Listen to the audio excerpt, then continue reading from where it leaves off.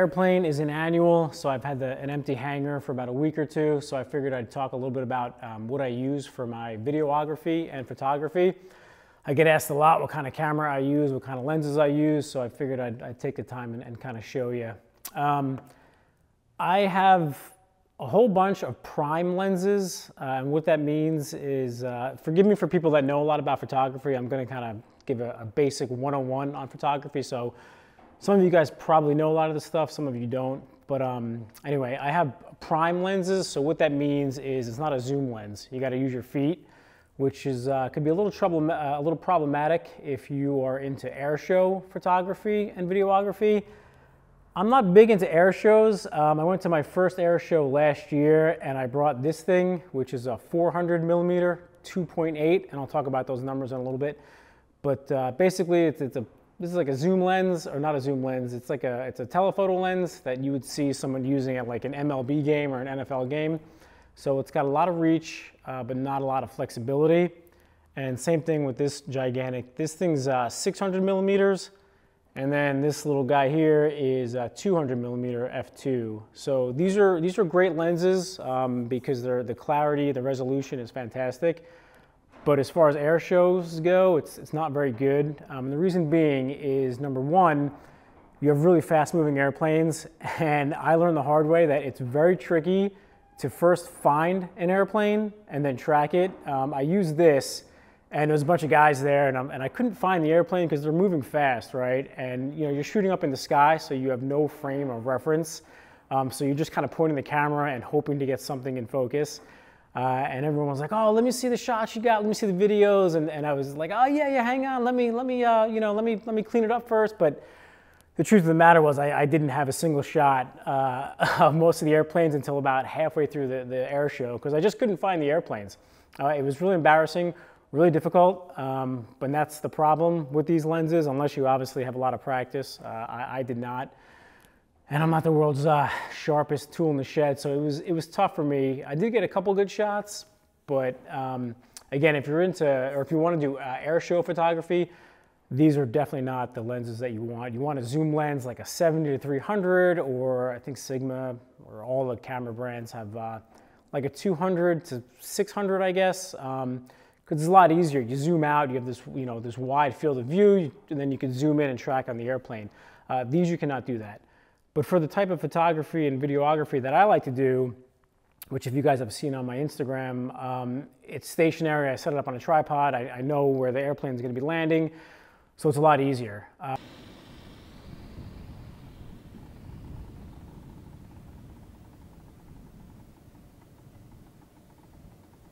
Um, and you're probably asking why would I have these lenses if they're not very flexible? Well, the reason being is because the prime lenses are usually uh, optically superior than zoom lenses, and they have what's called uh, constant aperture.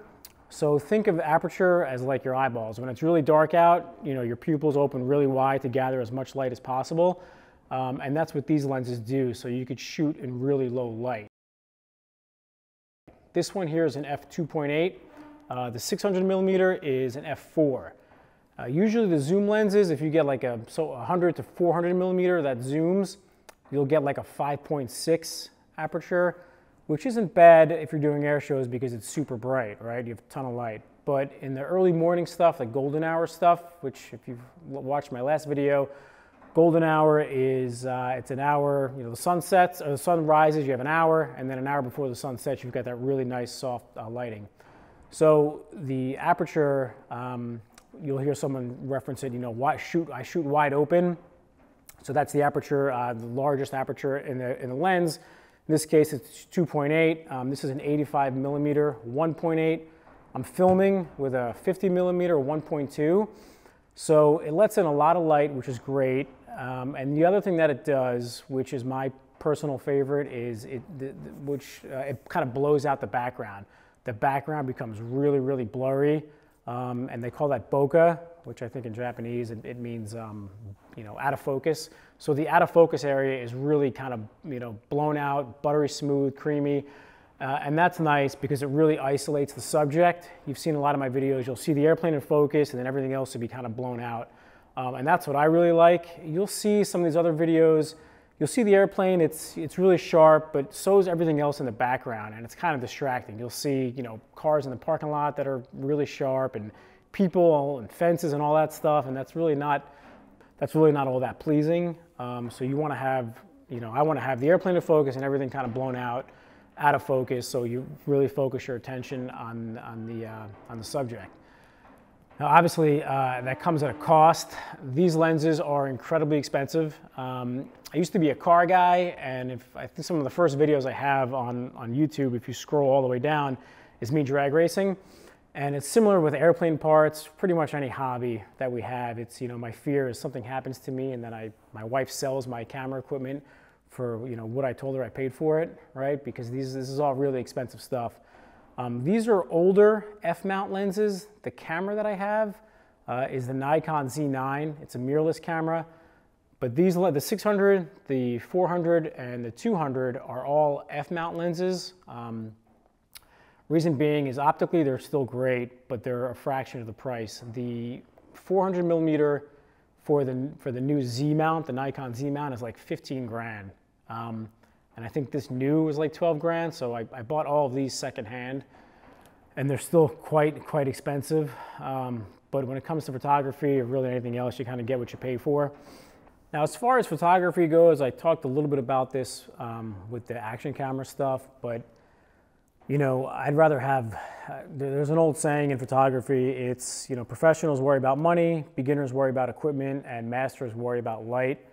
So really, I would take someone with an iPhone and golden hour lighting is going to come out with, a, I think, a better picture, a better video than somebody with all this equipment shooting at, you know, 12, 1 o'clock in the afternoon um, and just kind of, you know, taking a snapshot rather than have a picture that, let's say, tells a story or someone that uses the rule of thirds.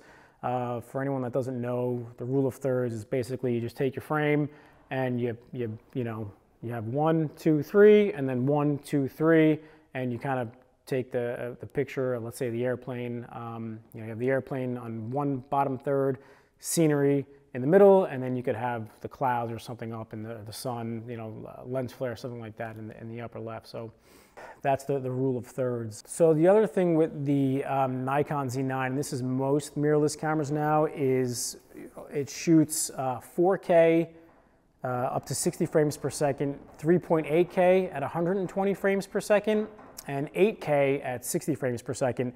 And you might be wondering, well, what's the point of 8K if most cameras and, and let's say Instagram or uh, YouTube doesn't support 8K? Well, with 8K, you can crop it um, significantly and not really lose any detail. So you always want to shoot in the highest possible um, resolution and then and crop it if you need to, because that's going to give you the best quality. And when Instagram or, um, or TikTok or whatever you post your stuff on compresses it, it'll still contain a lot more detail.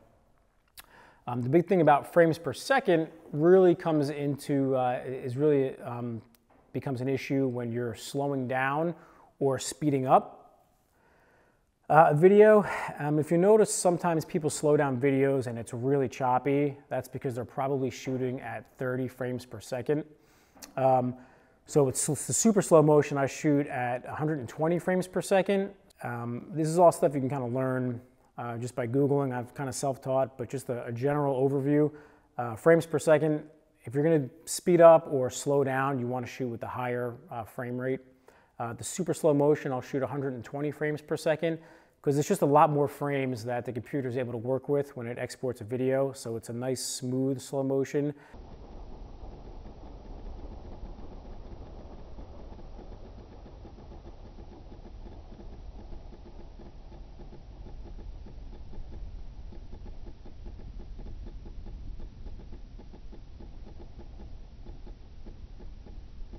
As opposed to super, you know, really choppy. Um, the other time frames per second comes into handy, and I'm sure you guys have all seen this, you'll see an airplane flying or in a video you'll see the propeller, and it's just, you can see almost every re revolution of the propeller. And, and that's not, in reality, that's not how our eyes see a propeller. You want to see the prop blur.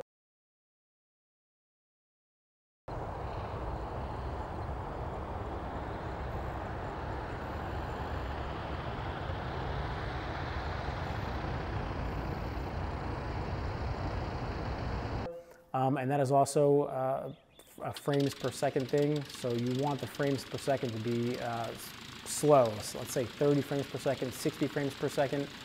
So you'll see pictures of airplanes, let's say a Mustang and it's, you know, flyby and the propeller is kind of frozen.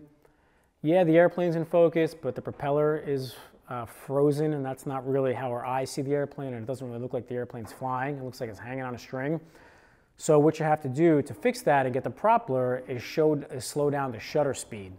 Um, so let's say 1 30th of a second, 60th of a second. Now the trick there is any camera shake, the airplane's not going to be in focus.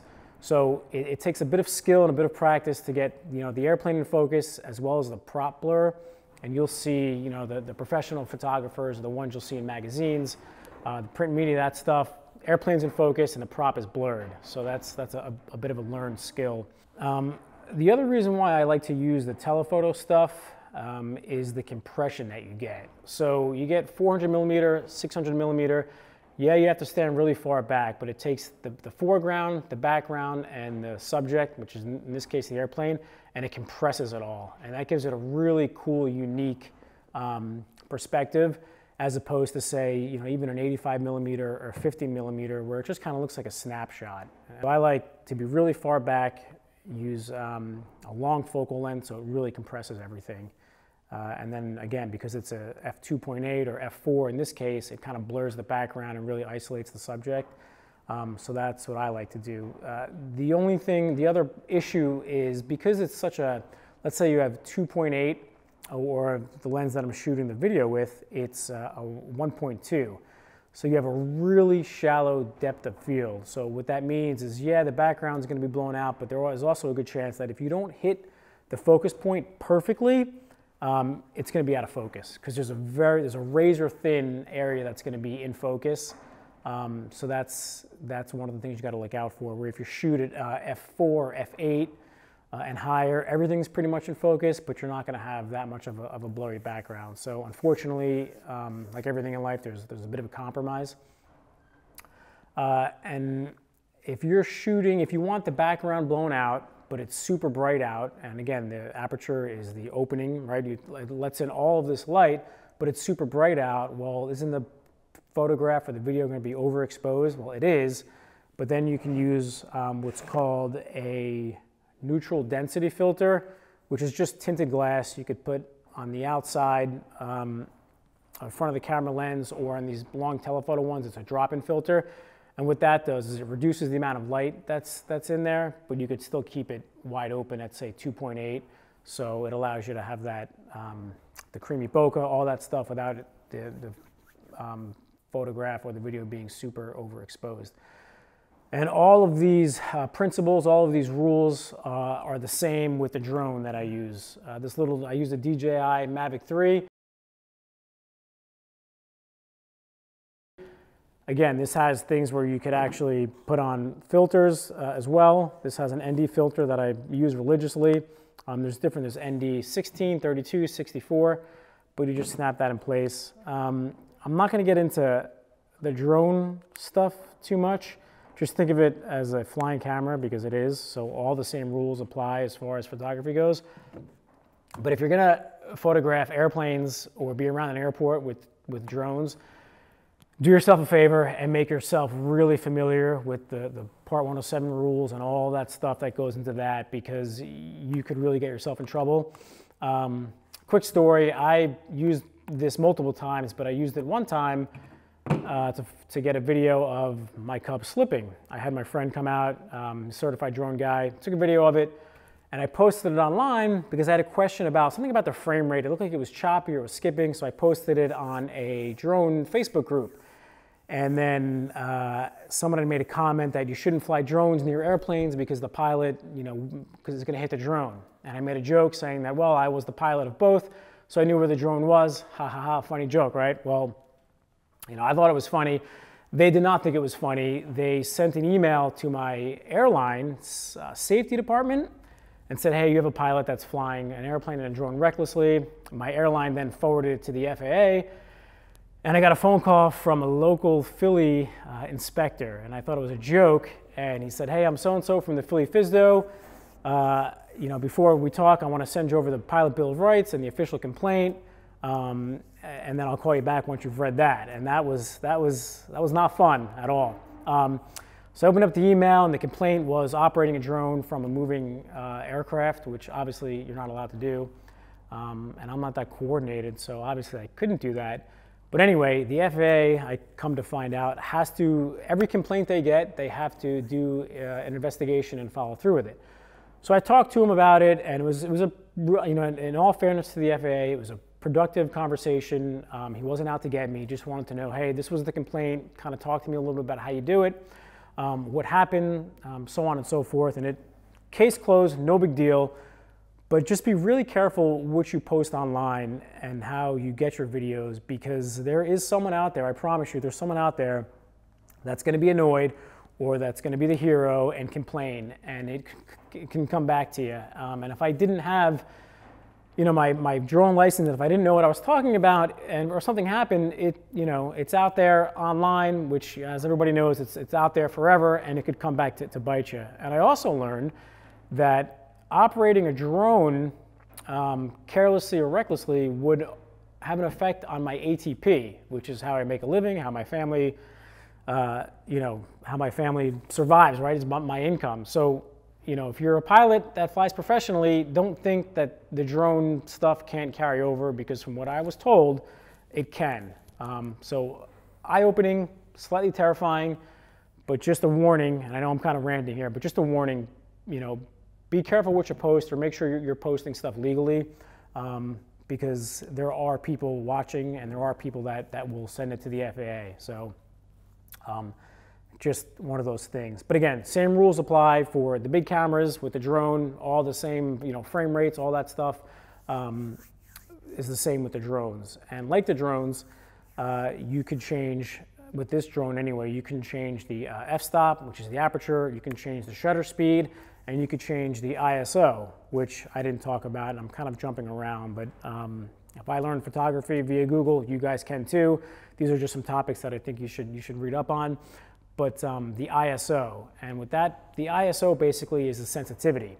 Um, my camera can go as low as, I think the native ISO is uh, 64, all the way up to, I don't know, let's say 32,000. So it becomes really sensitive the higher the ISO is, but you do introduce a lot of what's called noise, and that's basically um, static, and you'll see that, and I'll, I'll show you examples of, of, ISO and, and you know the noise that it can create. But it, it does come in handy if you're shooting in really low light and you don't have a lens that, that shoots at, let's say, 2.8, and you can crank up the ISO. Um, and then the other filter you could, you could put on besides the ND filter, uh, you can stack filters. You can have an ND filter, and then what I like to use is a polarizing filter, which if you guys have sunglasses, you know, you know polarizing filter cuts down on the reflection. Um, and that's good because it helps with the colors a little bit as well. It's a little saturated. But the big thing with the, um, the polarizing filter is one, it cuts down on the reflection of, let's say, the windscreen of the airplane so you can see the pilot inside. But also, this, you'll notice the sky it doesn't have that kind of gray, pale blue haze. It's got a rich blue when, when you're shooting with a polarizing filter, depending on where the sun is. Um, so that becomes really helpful. And maybe you don't want a full-blown ND filter, but you want to cut down the light just a little bit. Then you can you can use this. Um, also, with these lenses, these you know half of the lenses are the actual hood, but this lens weighs like 12 pounds. Here's the lens itself, and here's the hood.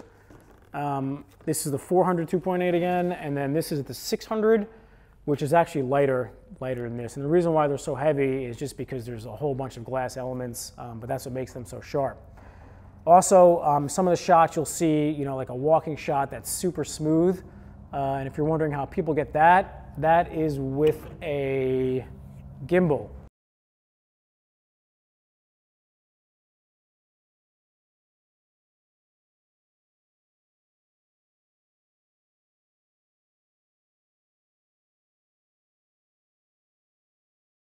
Um, these aren't too expensive. They, there's a little bit of a learning curve with them, but essentially you put the camera on here. You can't use these lenses because they're obviously they're too big. But like with an 85 millimeter, put the camera, the lens on here, and it's a stabilized gimbal. So when you're walking around, it just stabilizes it, so you have a nice smooth shot. You know, like I said, I have a Nikon Z9 that shoots 8K. There's people that have Canons, that have Sonys. It doesn't, it doesn't really make a difference. I think, I think the one exception is you probably want to get a camera that has at least 4K. Um, I don't think you need 8K. If it has 8K, great. Um, but if someone's going to spend money on something, I would rather them spend money on the lenses than on the camera body. But I do think you should at least try to get a, a camera that shoots uh, 4K video.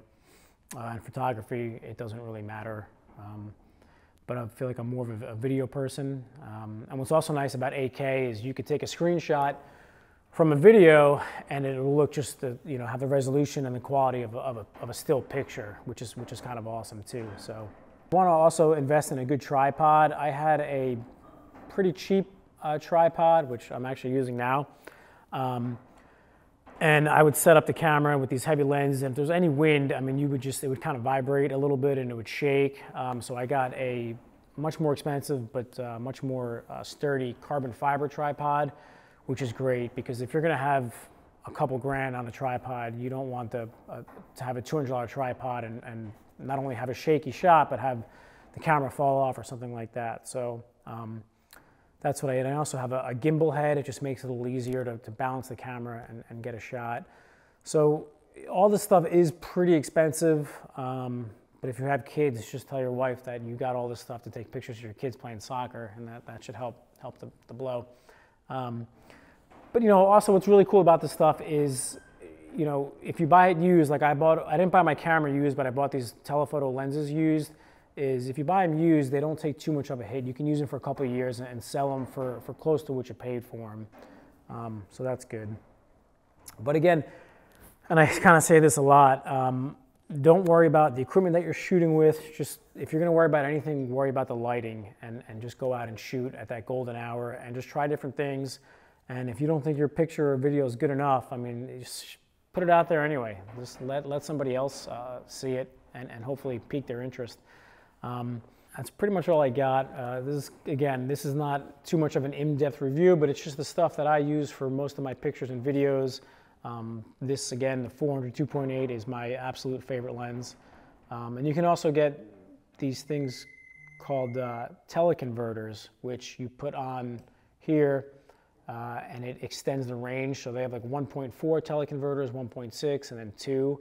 Um, I wouldn't use anything more than, than the 1.6. Once you get to 2, you lose a little bit of that quality, and you also, this no longer becomes an f2.8, it becomes an f, I don't know, 4 something, whatever it is. Um, so not that big of a deal, but it is just something to, to consider. Um, also, you know, the, the best camera is the camera that's in your hand, right?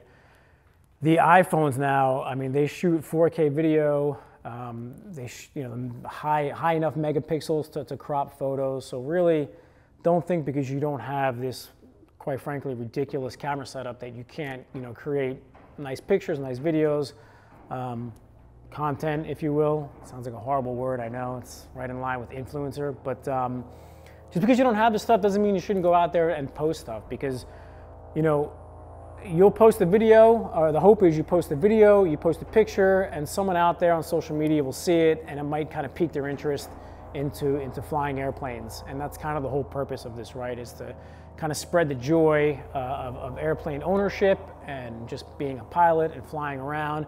So the more people that post stuff, the, the higher likelihood of somebody seeing it and, and hopefully getting interested in, in aviation. That's all I got. Um, any questions about my lenses, my gear, the drone stuff, um, shoot me a message and I'm happy to, happy to help answer. All right, thanks.